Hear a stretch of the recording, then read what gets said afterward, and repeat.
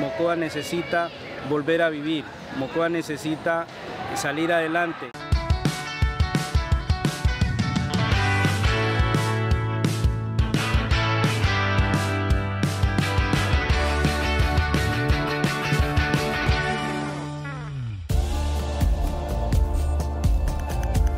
El 31 de marzo de 2017 las lluvias provocaron el desbordamiento de los ríos Mocoa, Mulato y Sancoyaco, dejando a su paso miles de víctimas y destrucción.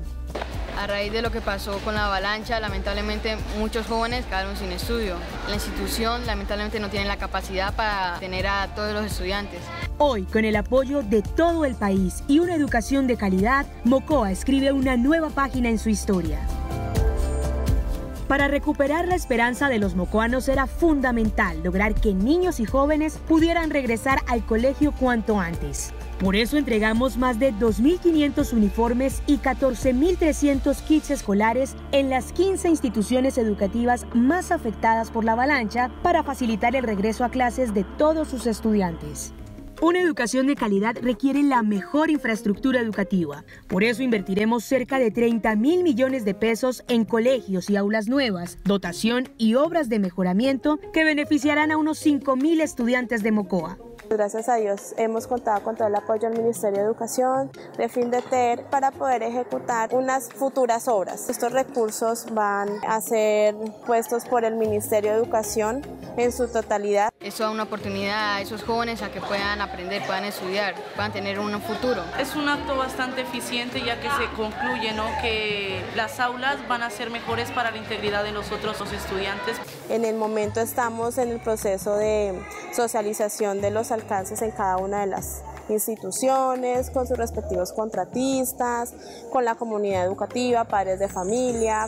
Nuestros maestros no solo enseñan a los niños, ellos también son su fuente de inspiración y los animan a soñar cada vez más alto. Por eso, después de la avalancha, un equipo del Ministerio de Educación se trasladó durante casi un mes para apoyar a los docentes de Mocoa durante el regreso a clases.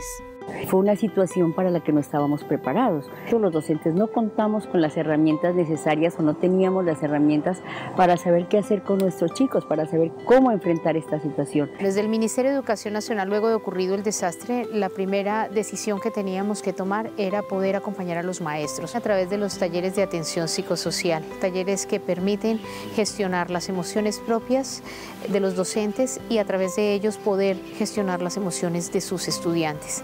En ese sentido, digamos que lo que más uno necesita es reconciliarse con la naturaleza, con Dios, porque hay muchas preguntas que uno se hace, eh, ¿por qué? ¿Para qué?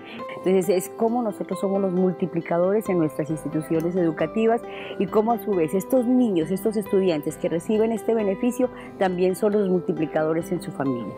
La llama de la esperanza sigue viva cada vez que un joven tiene la posibilidad de soñar. Y eso es justamente lo que hace Ser Pilo Paga, que en su capítulo especial de Pilos por Mocoa le permite a 51 jóvenes cumplir el sueño de estudiar en las mejores universidades del país. Lo que más afectó a todos los estudiantes fue el ánimo. Y es que la educación no comenzó a ser igual desde entonces. Todos no prestaban el mismo ánimo que siempre han prestado, esas ganas de salir adelante, se perdió por un instante. Se llamaban uno al otro, ¿no? ¿Qué te pasó? ¿Estás bien? ¿Quién falta? O sea, ellos preguntaban quién de, nosotros falta. Y pues al parecer parecía que no faltaba nadie, pero cuando ya llamaron a una compañerita que vivía por allá arriba, miraron que faltaba. El programa Serpilo Paga apareció una noche en la que anunciaron que a raíz de todo lo que sucedió, de la tragedia, de todo eso, entonces trataban de darle nuevas oportunidades a todos los jóvenes que estaban a punto de terminar su bachillerato para que pudieran seguir sus sueños y sus carreras. Cuando él se ganó lo de la beca, en memoria de ella le dije, dedíquele todo su esfuerzo, toda su entrega a, a esa carrera que usted va a seguir. No es fácil saber que estamos aquí a raíz de que muchas personas ya no están, de que por el sufrimiento de muchos nosotros estamos logrando nuestros sueños.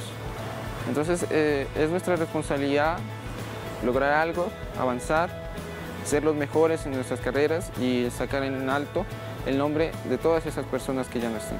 Después de la noche de tormento ya es hora de salir adelante, que la luz ilumine la vida de todos.